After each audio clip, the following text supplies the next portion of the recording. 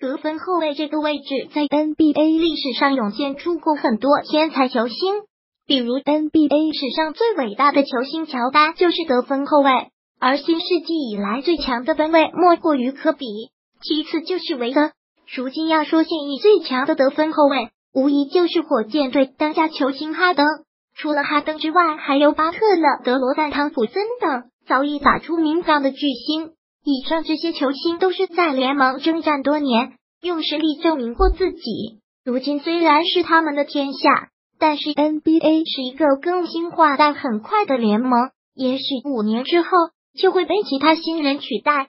而现役有这么一位球员，比起哈登年轻全面，比起韦德更劲爆，比巴特勒血性强硬。这些要素更让人看好未来，他更有可能成为第一分位。这位球员就是爵士队的米切尔。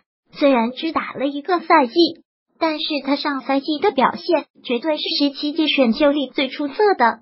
这位球员与 NBA 巨星韦德很相似，都拥有出色的运动能力、优质的身体素质。新秀赛季的米切尔就获得全明星扣篮冠军，比起韦德更加劲爆。对比两人新秀时期的数据，也是势均力敌。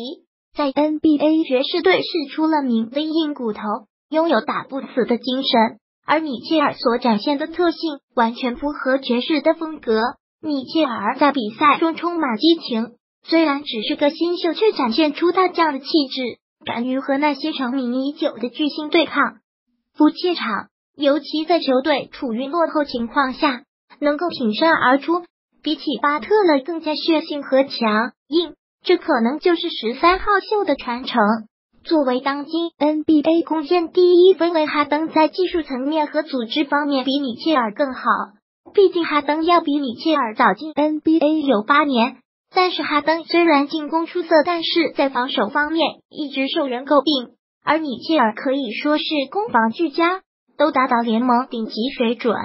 并且米切尔的潜力还远远没有开发，更重要，米切尔比哈登要年轻很多，再加上努力自律，未来米切尔具备成为第一分位的潜质。